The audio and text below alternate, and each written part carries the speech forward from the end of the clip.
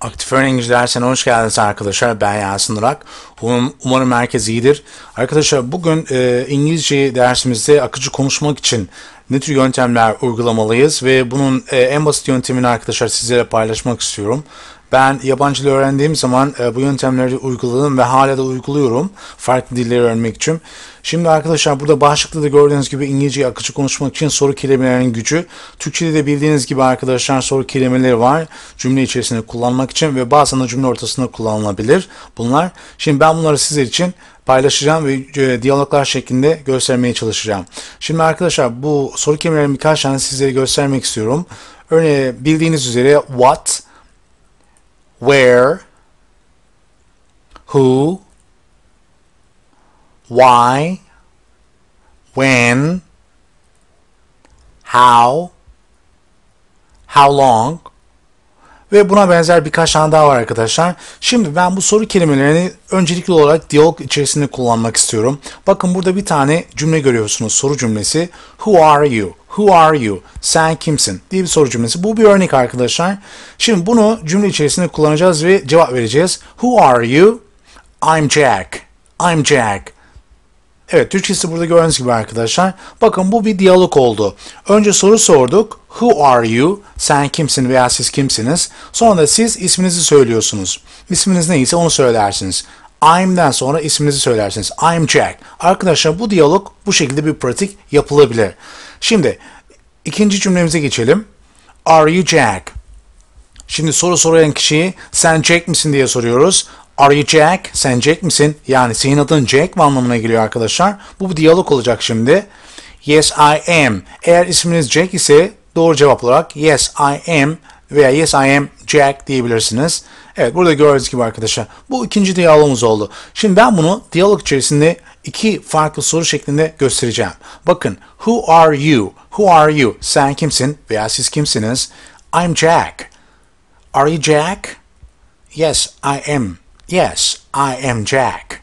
Arkadaşlar gördüğünüz gibi bakın who kelimesiyle yani kim anlamına gelen soru kelimesiyle cümle içerisinde bunu kullandık ve iki farklı diyaloğa dönüştürdük arkadaşlar. Şimdi bunu tekrar edelim. Who are you? I'm Jack. Are you Jack? Yes, I am veya yes I am Jack. Bakın bunu kendiniz de yapabilirsiniz. Öncelikle bakarak e, yapmaya çalışın sonra bakmadan yapmaya çalışın ve bunu arkadaşlar günlük hayatta internet üzerinde farklı kişilerle de bunu gerçekleştirebilirsiniz. Şimdi geçelim ikinci diyalogumuza. Bakın who are you? Farklı bir isimde kullanacağız şimdi bunu. Jack değil de bir Türk ismi olarak kullanalım bunu. Who are you? I'm Ömer. Are you Ömer? Yes, I am veya yes, I am Ömer. Bakın dikkat ederseniz who are you kalıbıyla are you kalıbı aynı şekilde kullanıldı. Sadece burada kişi isimleri değişiyor arkadaşlar. Gördüğünüz gibi. Şimdi normal bir cümleyi e, parçalarına ayıracağız burada. Soru kelimeleri nasıl yapılacak onu göstereceğim. Önce tüm cümleyi burada veriyorum arkadaşlar sizler için. Bakın burada uzun bir cümle var. Belki sizin gözünüzü biraz korkutabilir. Aslında çok basit. Ben bunun ne kadar basit olduğunu şimdi bu e, soru kelimeleri örnekleriyle göstermek istiyorum. Bakın arkadaşlar. Ben bu cümlemize tekrardan geri dönüş yapacağım. Bakın şimdi bu gösterdiğimiz e, cümleyi Şimdi soru kelimelerine ayır, ayıralım. Bakın I have been working in Istanbul. Ben bunu şimdi bir soru e, kelimesine dönüştüreceğim ve nerede çalışıyorsun diye soracağım. Cümlesi zaten cevabı mavi olan cümlemiz cevabı oluyor. Soru kelimesine dönüştüreceğim where şeklinde. Sonra arkadaşlar ikinci bir diyalog gerçekleştireceğim. How long? ne kadar süredir ya da kaç yıldır anlamına geliyor arkadaşlar. Bakın cevap da burada for five years olarak cevap gelecek bize. What job? Yani ne iş yapıyorsun? İşiniz veya mesleğiniz nedir? As an English teacher. İngilizce öğretmen olarak diyeceğiz burada cevap olarak. Bakın şurada sağ tarafta gördüğünüz soru cümlelerini ben diyaloglar şeklinde göstereceğim. Bakın Why? Neden çalışıyorsun? To earn more. Sol tarafta arkadaşlar cevapları var. To earn more. Bakın where, nerede çalışıyorsun diye soracağım. For a private company, özel bir şirket için çalışıyorum ve özel bir şirkette çalışıyorum anlamına da gelir arkadaşlar. Şimdi ilk diyalogumuza başlayalım. Bakın hatırlarsanız ilk diyalogumuzdaki cümlemizin cevabı I have been working in Istanbul. Yani nerede çalıştığını söylüyordu. Şimdi burada sorumuzu soralım. Where do you work? Where do you work? Kısa cevap olarak arkadaşlar in Istanbul şeklinde cevap verebilirsiniz.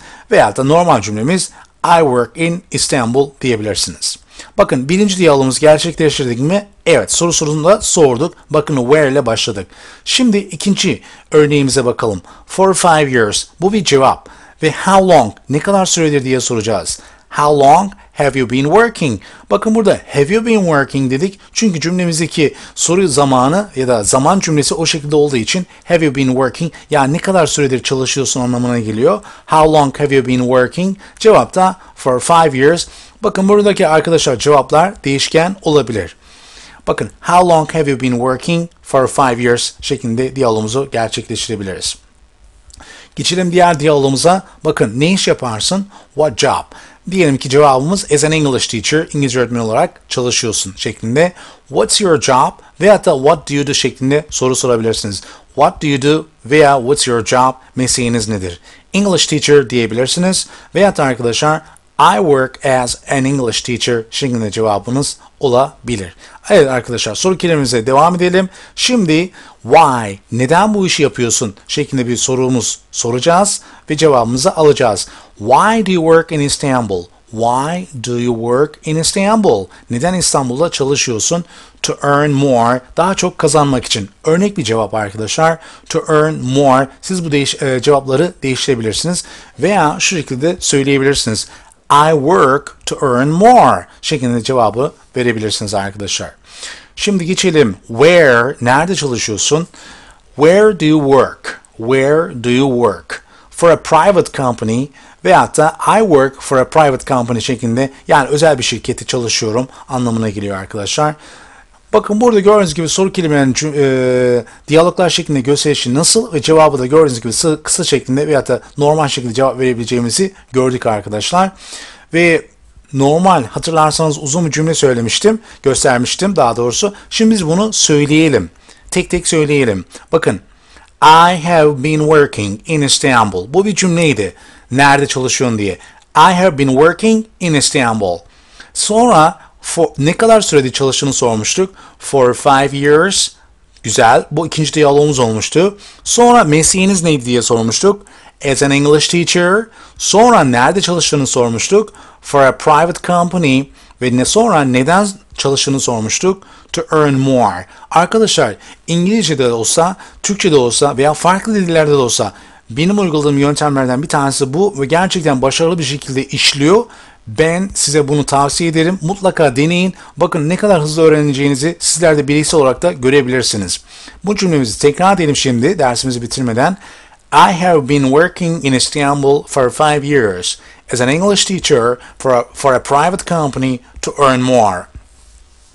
Evet arkadaşlar bu dersimizde sonuna geldik. İngilizce soru kelimeleriyle ne kadar ve nasıl akıcı konuşabileceğimizi size göstermeye çalıştım. Umarım bu dersimiz sizin için faydalı olmuştur.